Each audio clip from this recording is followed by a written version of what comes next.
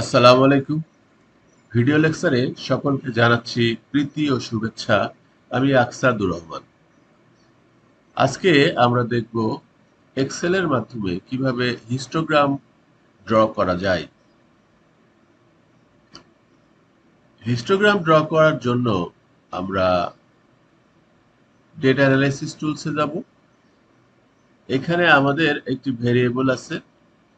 Temperature যার ভিতরে বেশ কিছু টেম্পারেচার আছে, আমরা এই টেম্পারেচার টির হিস্টোগ্রাম আসলে আঁকব। তো ডেটা ট্যাবে যাওয়ার পরে আমাদের এখানে ডেটা অ্যানালাইসিস একটি মেনু পাবো। সেখানে ক্লিক করলেই কিছু অপশন পাবো। অবশ্য আপনারা, আপনাদের এখানে এই ডেটা অ্যানালাইসিস মেনুটি নাও থাকতে পারে। সেক্ষেত্রে আমাদের কীভাবে এই ডেটা অ্যানালাইসিস টুলসটি এখানে ইনস্টল করতে হবে বা এনেবল করতে হবে, সেই বিষয়ে আমি এর আগে একটি ভিডিও দিয়েছি। আপনারা সেই ভিডিওটি দেখে নেবেন, তাহলে জানতে পারবেন কীভাবে এখানে ডেটা অ্যানালাইসিস টুলস আনা যায়।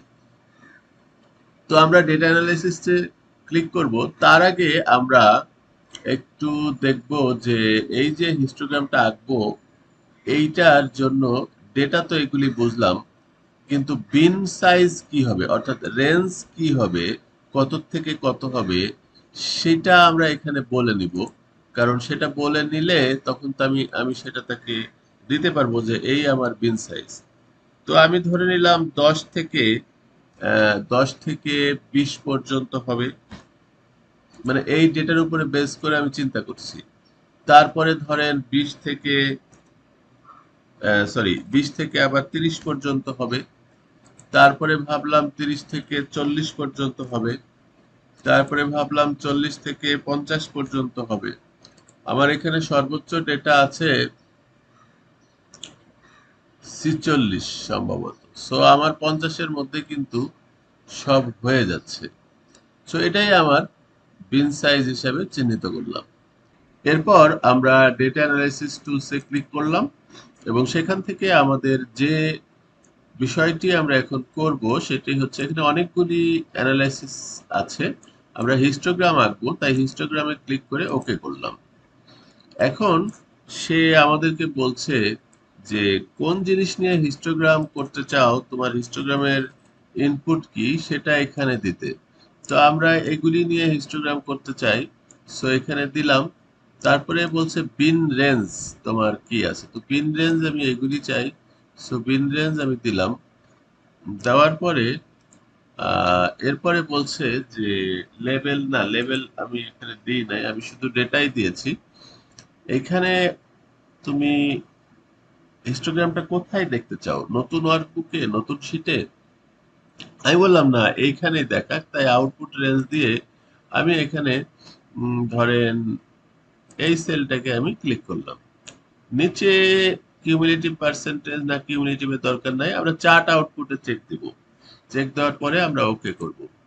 তাহলে দেখুন, একটা হিস্টোগ্রাম কিন্তু আমাদের এখানে তৈরি হয়ে গেল। আচ্ছা এইখানে আমাদের প্লাসে ক্লিক করে আমরা লিজেন্ডটাকে বন্ধ করে ফেলতে পারি। আর এই যে বিন যেটা, এটা তো আসলে আমাদের টেম্পারেচারের রেঞ্জ, তাহলে এখানে টেম্পারেচার আমরা লিখতে পারি। টেম্পার আর আচ্ছা। তো হিস্টোগ্রাম যেটা হয় যে, সাধারণত একটার সাথে আরেকটা লেগে থাকে কিন্তু এখানে একটার সাথে আরেকটা লেগে নাই। সেটা করার জন্য আমাদের যেটা করতে হবে, এই ডিজাইনে যাওয়ার পরে আমাদের এখানে দেখেন কুইক লেআউট বলে একটা অপশন আছে। সেখানে গিয়ে আমরা এই যে এটা কিন্তু হিস্টোগ্রামের চেহারা দেখাচ্ছে। সো এটাতে আমরা যদি ক্লিক করি তাহলে এটা হিস্টোগ্রাম হয়ে গেল আসলে। একটার সাথে আরেকটা লেগে গেল। এখন আমাদের যে পিন সাইজটা আছে বা যে রেঞ্জটা আছে, সেই রেঞ্জটা আসলে এরকম দশ দশ থেকে বিশ আমি বলেছিলাম। কিন্তু সামাও এইভাবে এখানে হচ্ছে না। দশ, বিশ বিশ, তিরিশ, এই বিশের যে ঘরটি আছে সেটি মাঝখানে আছে। সো আমরা আসলে এরকম চাই না। আমরা চাই যে জিরো থেকে দশ দশ থেকে বিশ, এইভাবে চাই। সেজন্য আমরা এই ডেটাটিকেও চেঞ্জ করতে পারি। কীরকম? আমরা ধরেন এখানে ক্লিক করে আমরা এই যে সিলেক্ট ডেটাতে যেতে পারি। সিলেক্ট ডেটাতে গিয়ে এইখানে যে অপশনটা আছে, সেই অপশনটাতে আমরা এডিট করতে পারি। এই যে দশ বিশ, এটাকে এডিট করতে পারি। এডিট করে আমাকে অবশ্য একটা রেঞ্জ এখানে দিতে হবে। তো চলুন আগে সেই রেঞ্জটা বানিয়ে নিই।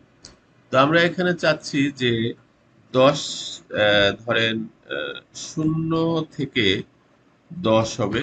এটা একটা রেঞ্জ চাচ্ছি। তারপরে চাচ্ছি দশ থেকে বিশ হবে। তারপরে চাচ্ছি এটা তো আবার দশ থেকে, এই ঘরগুলিকে আমরা আসলে একটা কাজ করি টেক্সট করে নিই। এগুলিকে টেক্সট করে নিই, তাহলে পরে আমাদের আর ওই অন্য ফরম্যাটে যাবে না টেক্সট ওকে তারপরে আমরা চাচ্ছি দশ থেকে বিশ, তারপরে আমরা চাচ্ছি বিশ থেকে তিরিশ, তারপরে আমরা চাচ্ছি তিরিশ থেকে চল্লিশ, তারপরে আমরা চাচ্ছি চল্লিশ থেকে পঞ্চাশ। এইভাবে রেঞ্জটা চাচ্ছি।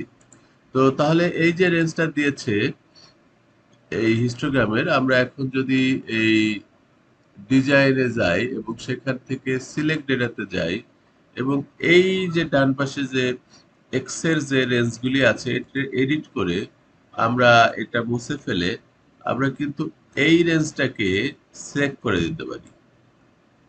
এন্টার দিই। তারপরে যদি আমরা ওকে করি ওকে করি, তাহলে দেখেন এখন কিন্তু আমাদের যেভাবে আমরা চেয়েছিলাম যে দশ থেকে বিশ বিশ থেকে তিরিশ তিরিশ থেকে চল্লিশ এইভাবে কিন্তু রেঞ্জটা হল। হিস্টোগ্রামের আরেকটা বিষয় হচ্ছে যে আমরা এখানে যে বারগুলি এখানে আছে, প্রত্যেকটা রেঞ্জের জন্য একটি করে বার এখানে যেটা মিন করছে সেটা হলো দশ থেকে বিশের মধ্যে কতগুলি ডেটা আছে। তো আমরা এমনি ম্যানুয়ালি এখানে বলছে যে দুইটা ডেটা আছে। দুই থেকে গেলে দুইটা ডেটা আছে। ম্যানুয়ালি যদি দেখি যে দশ থেকে বিশের মধ্যে আসলে বিশ এই একটা এবং এই একটা। আসলে দুইটাই কিন্তু আছে। আবার বিশ থেকে তিরিশের মধ্যে আছে, এখানে বলছে তিনটা।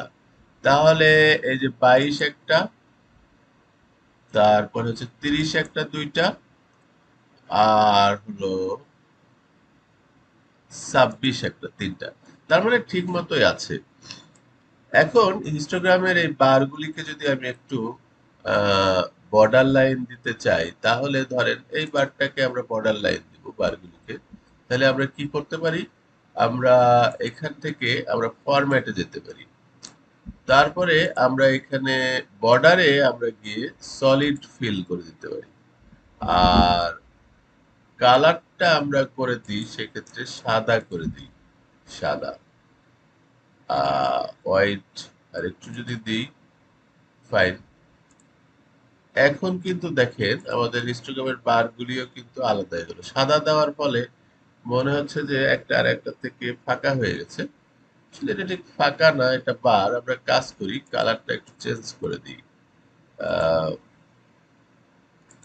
আমরা এখানে সলিড কালার আচ্ছা এটা একটু কমায় দিই হোয়াইটটা এটাই থাকুক। সলিড কালার আমরা করে দিই ধরেন আমরা হালকা নীল করে দিই। ওকে তাহলে আমাদের একটা সুন্দর হিস্টোগ্রাম কিন্তু হয়ে গেল। এই এই গিভেন টেম্পারেচারের ভ্যালুগুলি দিয়ে। তো আমরা এইভাবে এক্সেলের মাধ্যমে কিন্তু হিস্টোগ্রাম আঁকতে পারি। আজকের ভিডিওতে সেটাই আপনাদের দেখানো হলো। ভিডিওটি যদি ভালো লেগে থাকে, অবশ্যই আমাদের ভিডিওটিকে সাবস্ক্রাইব করুন, লাইক করুন। ধন্যবাদ সকলকে।